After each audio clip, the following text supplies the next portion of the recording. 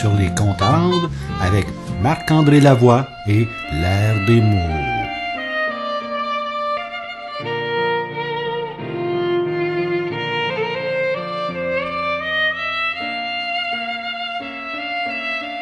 Ici les comptes à rendre, nous sommes encore donc euh, dimanche matin 1er mai.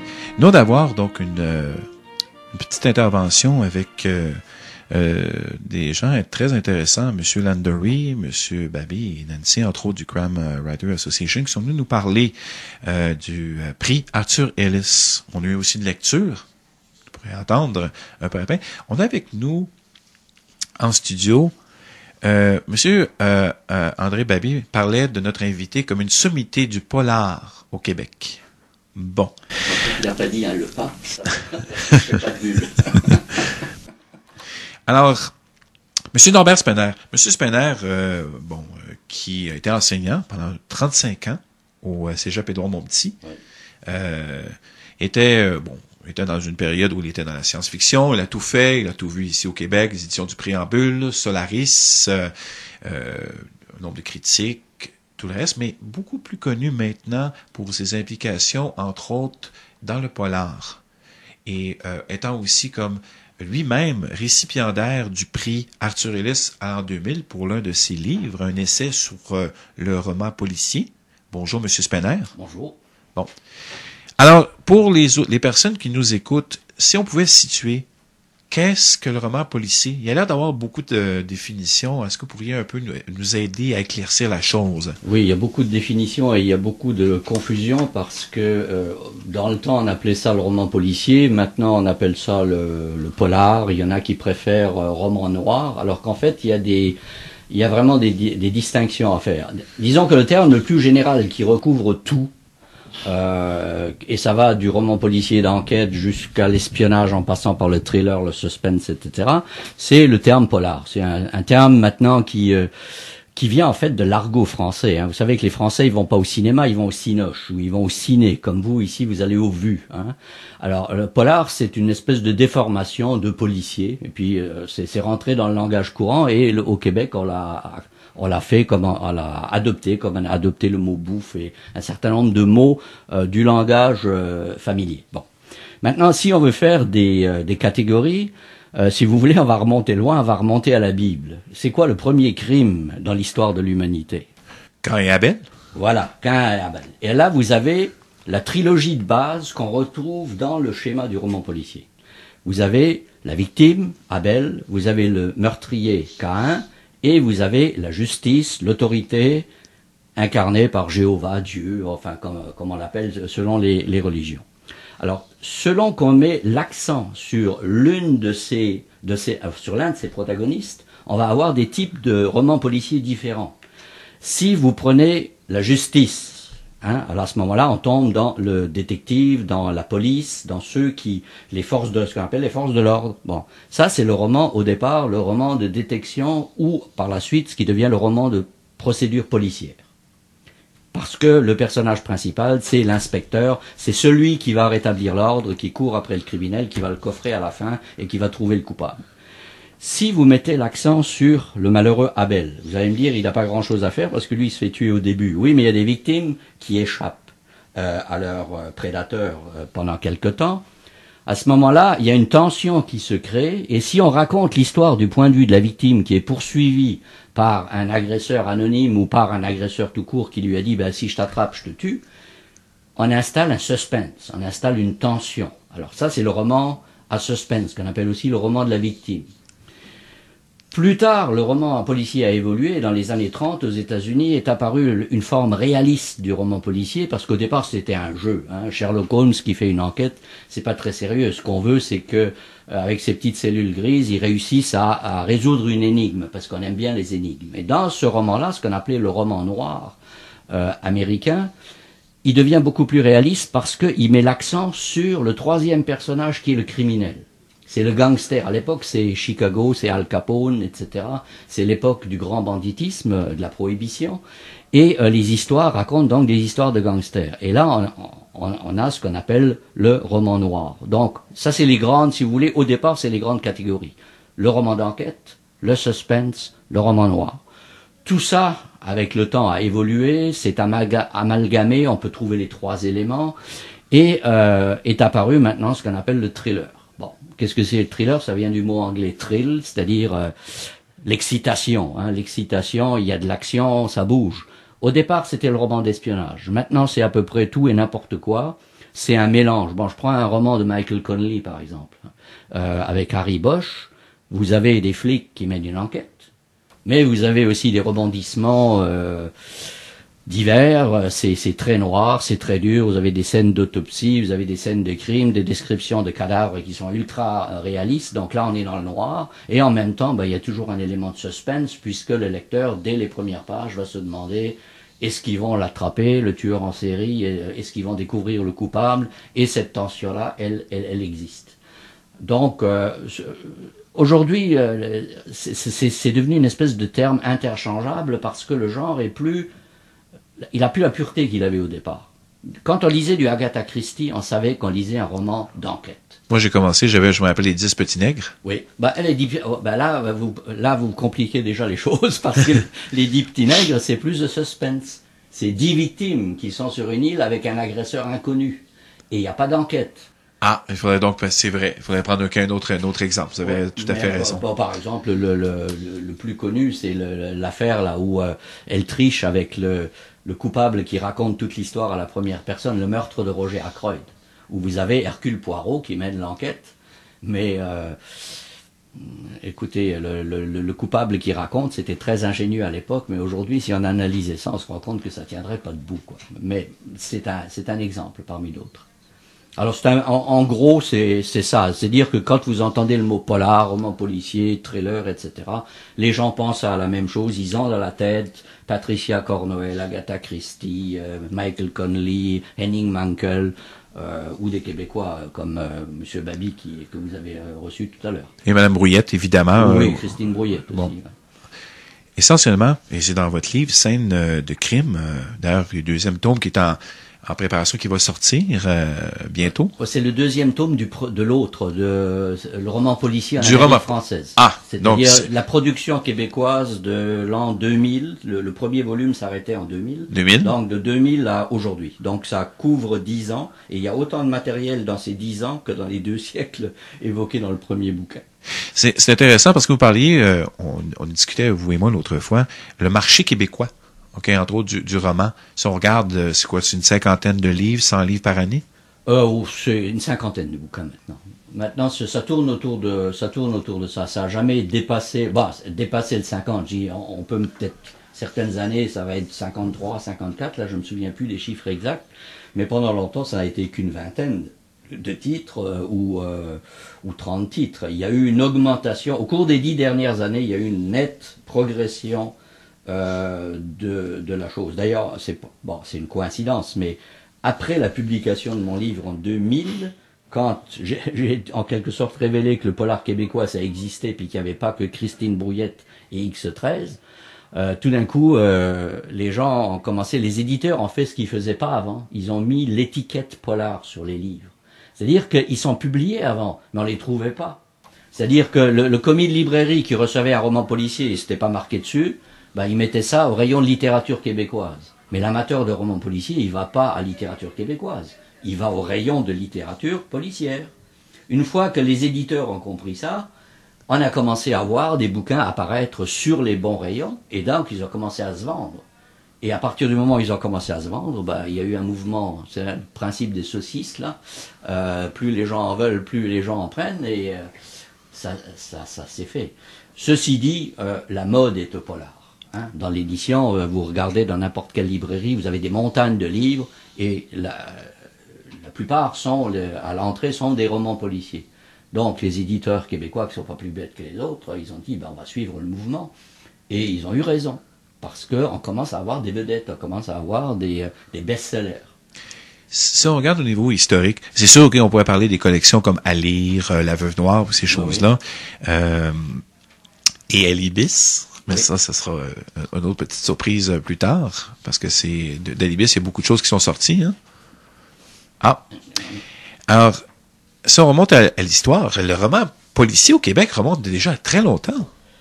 Ah, je dirais qu'il bon, euh, moi, je ferais remonter ça à 1837. Le, mais c'est pas à ce moment-là, c'est pas des, des, vrais romans policiers. C'est-à-dire que au début du XIXe siècle, vous avez toute une série de romans qu'on a qualifiés de gothiques parce qu'il y a des meurtres, parce qu'il y a une atmosphère sombre et il y a des éléments criminels. Donc, c'est en quelque sorte le terreau dans lequel ça va se développer. Bon, un exemple, il y a euh, un roman qui s'appelle Les Révélations du crime de François Réalanger qui raconte l'histoire de la bande de Chambers. Bon, la bande de Chambers, c'était une, bande de, de, de, voleurs qui opéraient dans la ville de Québec, qui ont terrorisé la ville de Québec, réellement.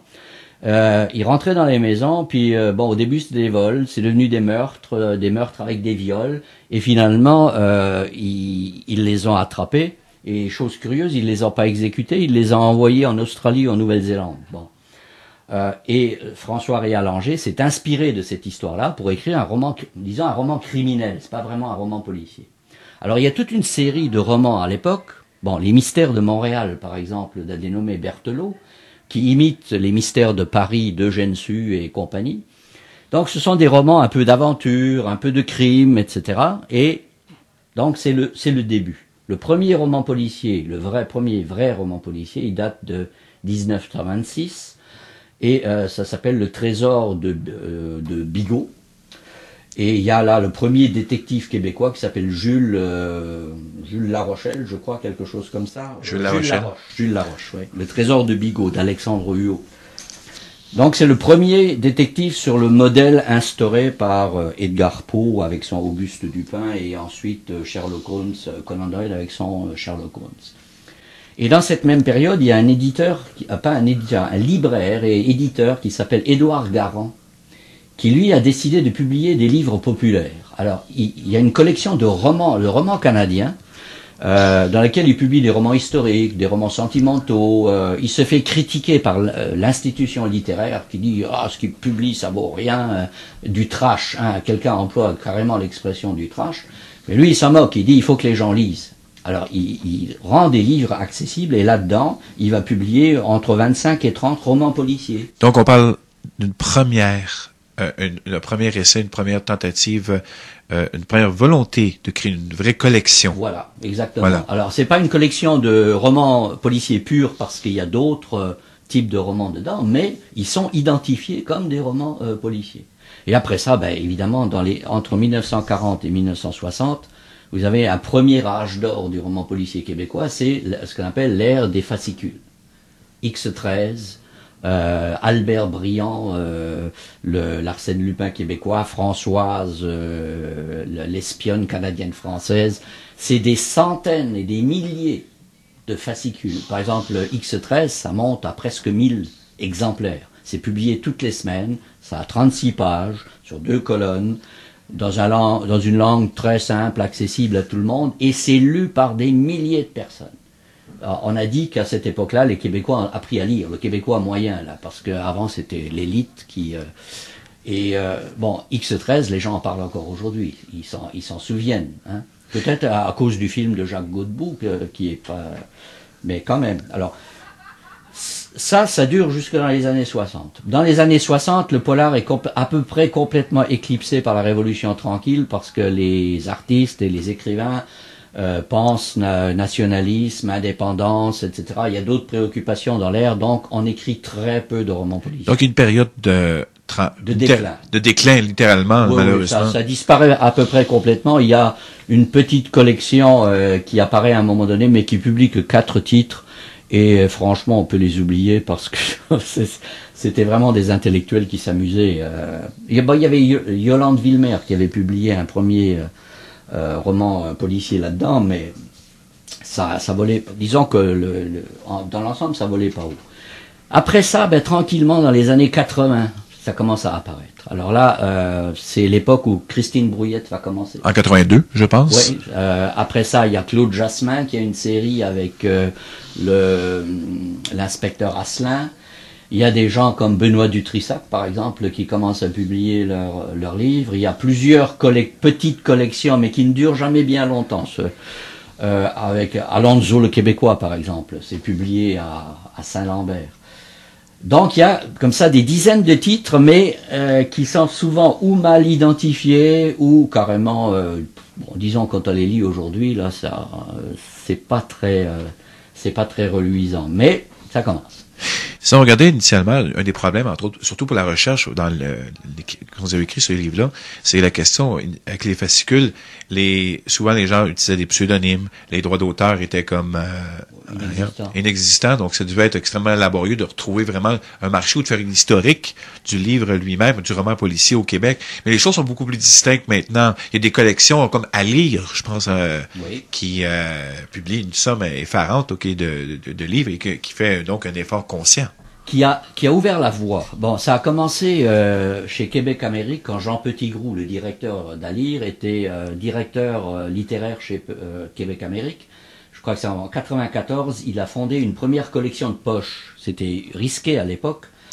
euh, en disant, ben, dans cette collection de poches qui s'appelait Sextant, je vais publier de la littérature dite de genre. La science-fiction, du roman policier, du fantastique. Bon. Quand il a quitté euh, Québec Amérique, je crois que c'est deux ans après, en 96, ouais, il a publié il a fondé les éditions à lire, et il a réussi à prouver que l'édition de poche était quelque chose de rentable. Non seulement était de rentable, mais dans les genres euh, comme la science-fiction et le roman policier. Alors lui, c'est vraiment euh, à lire, c'est vraiment la figure de proue qui a euh, lancé le mouvement, puis qui a dit aux autres, ben écoutez, regardez, ça fonctionne, ça vaut la peine.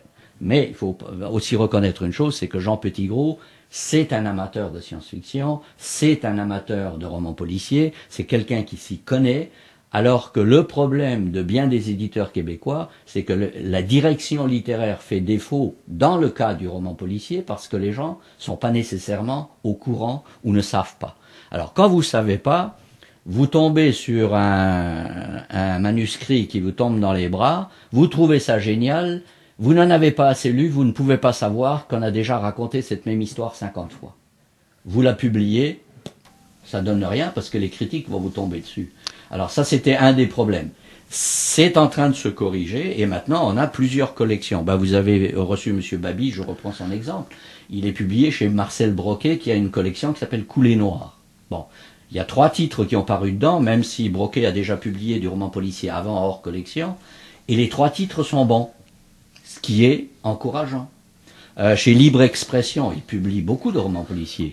Euh, la Courte Échelle, pub- même si c'est au départ une mai- maison qui est tournée vers les jeunes, euh, elle publie quand même Christine Brouillette, André Marois, des, des gens comme ça.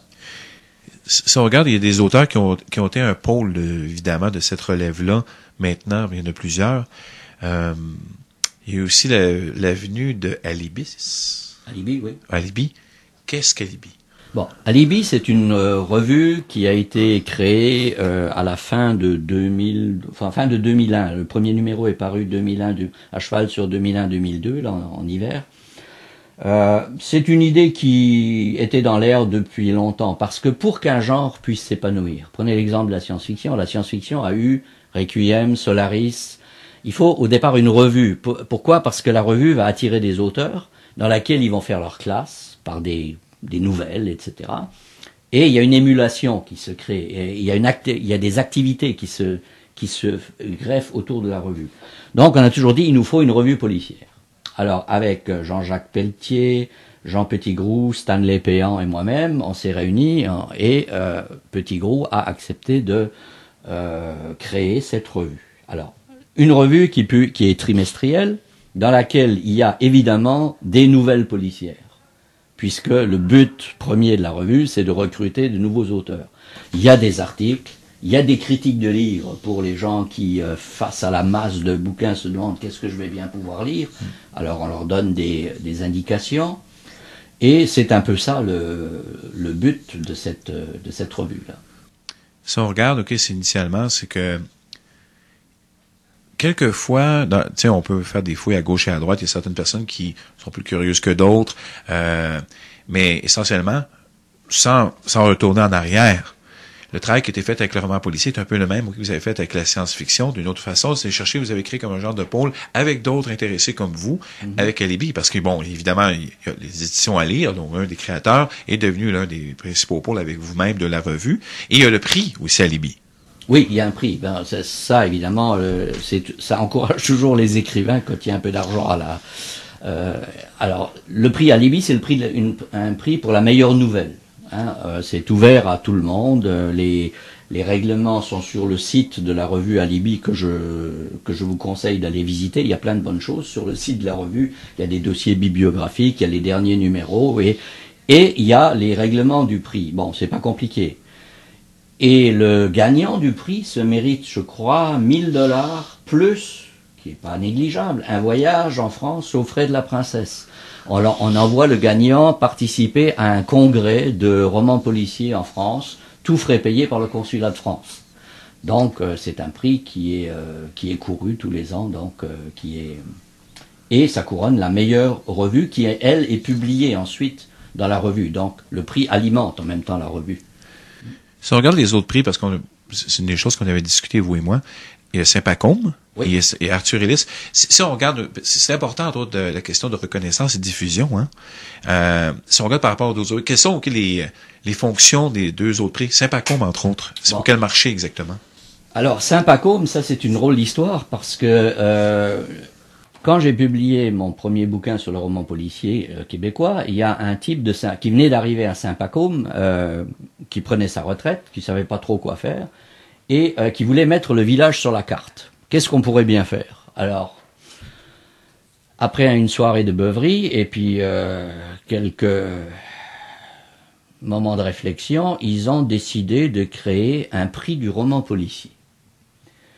Mais ils ne savaient pas trop, euh, bon, est-ce que ça va être général, est-ce que... Bon, là, il tombe sur mon bouquin, il se dit, c'est ça, j'ai l'idée, on va créer un prix du roman policier québécois. On va couronner le meilleur roman policier québécois de l'année. Et c'est un prix intéressant parce que le premier prix, c'est 3000 dollars. Il n'y a pas beaucoup de prix au Québec qui sont aussi généreux. Et ce sont les gens du village qui ont tout organisé. Ils ont formé un comité, ils sont allés chercher les sous et ils ont organisé le prix.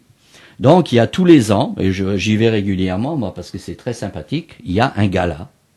Alors le soir, il y a un gala, il y a un repas et euh, donc il y a un jury qui a délibéré dans les semaines précédentes et qui a choisi trois finalistes. Et on révèle le gagnant ce soir-là. Donc c'est une petite, c'est l'occasion de fêter. Au début, évidemment, c'était un peu folklorique parce que Saint-Pacôme, c'est pas la porte à côté. Euh, Il y a même des gens qui ne savaient pas où c'était, dont moi. Maintenant, je sais, et c'est un beau petit village qui a d'ailleurs été euh, couronné à un moment donné le plus beau village du Québec.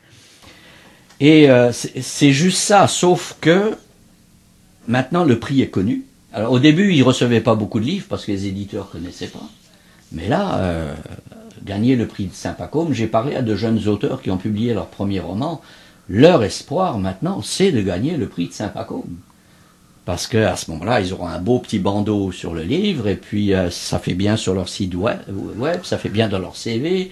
euh, et euh, moi, je vous invite à y aller une fois, c'est une fois par an au mois de, au mois de septembre. Ils ont un site web d'ailleurs sur le site de la municipalité de Saint-Pacôme. Vous trouverez les règlements, vous trouverez tous les tous les détails, des photos, etc.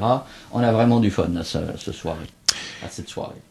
On, on parlait tout à l'heure, vous étiez vous-même qui a été gagnant du euh, prix Arthur Ah, Ellis, Ellis, oui. l'association euh, sans but lucratif des des Crime Writers Ouais. ok, du Canada. Canada, ouais. Bon, qui ont eu un volet francophone. Oui. Parce qu'initialement, c'était pour le marché anglais. Si on parle de marché québécois, marché anglais, un petit peu en, en gros, parce que c'est sûr qu'il y avait des pôles, on, malheureusement, en, en peu, c'est peu de temps pour couvrir tout ce qu'il y a dans votre livre, hein, on se comprend bien. Mais est-ce que juste, en- entre autres, c'est des choses. Mais si on peut juste, ok, euh, glisser un mot là-dessus euh, sur le Mais, marché. Le, le prix Arthur Ellis, euh, bon, évidemment, ça, au départ, ça concernait les anglophones. On, on vit toujours ce problème des deux solitudes et on peut dire que les deux milieux, le milieu du polar québécois et le milieu du polar euh, anglophone, ont à peu près pas euh, de relation, sinon par quelques personnes comme moi, bilingues, qui m'intéressent au polar euh, canadien. Ceci dit, euh, ça commence à se savoir. C'est comme le prix de Saint-Pacôme. Le prix de Saint-Pacôme, ça a mis du temps avant qu'on sache que ça existe. Alors, l'Arthur Ellis, peu à peu, au fur et à mesure que les auteurs sont sensibilisés, et dans la mesure du possible, moi je le fais, je j'envoie un courriel aux attachés de presse parce que je connais les attachés de presse. Euh, des différentes maisons d'édition, je leur dis n'oubliez pas d'envoyer le roman que vous venez de, dont je viens de parler ou que vous venez de publier au prix Arthur Ellis, parce que euh, c'est quand même une consécration.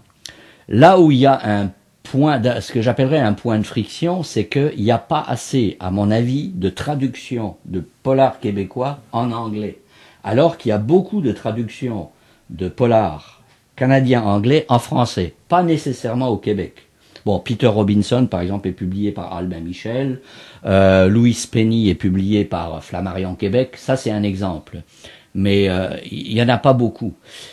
Et euh, ça, ben, je pense que la seule façon, c'est le, c'est le temps. Ou alors, si un jour on avait un congrès, parce qu'actuellement, on n'a toujours pas encore de congrès euh, annuel pour les amateurs de polar, si on invite des auteurs anglophones, euh, on pourra à ce moment-là peut-être faire quelque chose. Mais ça, c'est le travail qui reste à faire. Parce qu'il y a un gros marché. Le, polar euh, canadien-anglais, c'est une centaine de titres pratiquement par an. Euh, et il y en a de très bons.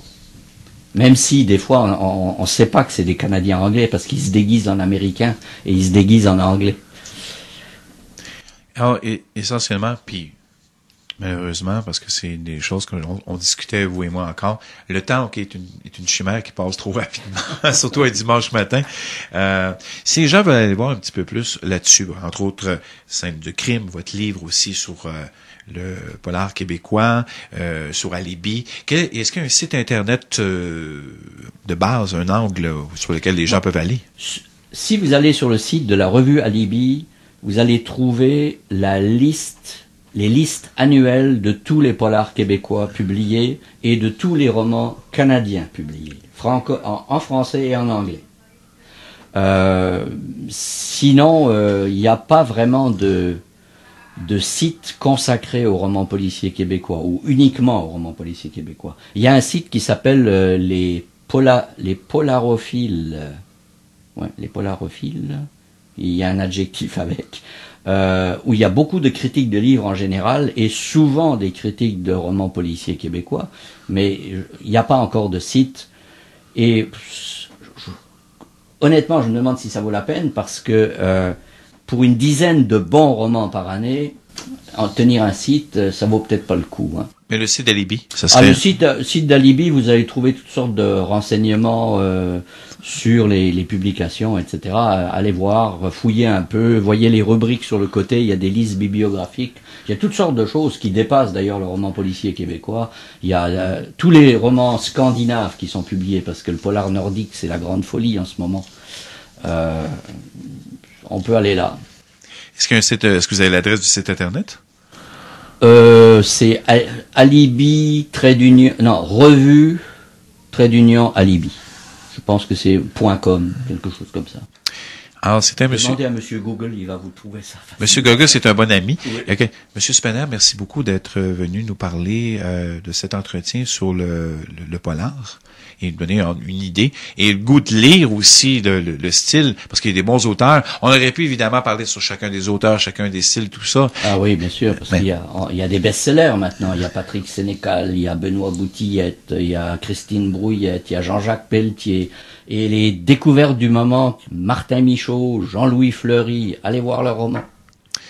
Alors, euh, c'était donc euh, les, les comptes à rendre sur 102.3 FM avec Marc-André Lavoie. Notre invité était M. Norbert Spanner, aussi auteur de Scènes de crime, enquête sur le roman policier contemporain. Et je vous remercie. Bonne journée.